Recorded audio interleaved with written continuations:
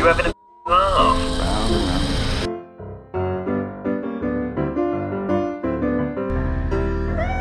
This is rather fun. This is nice. By analyzing different cat noises, we've designed a digital sensor that detects a cat's meow and uses a unique program to turn it into a human voice.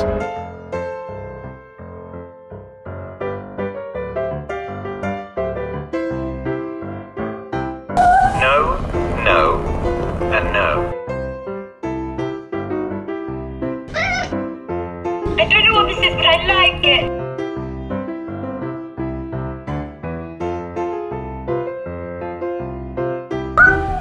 Have you washed your hands?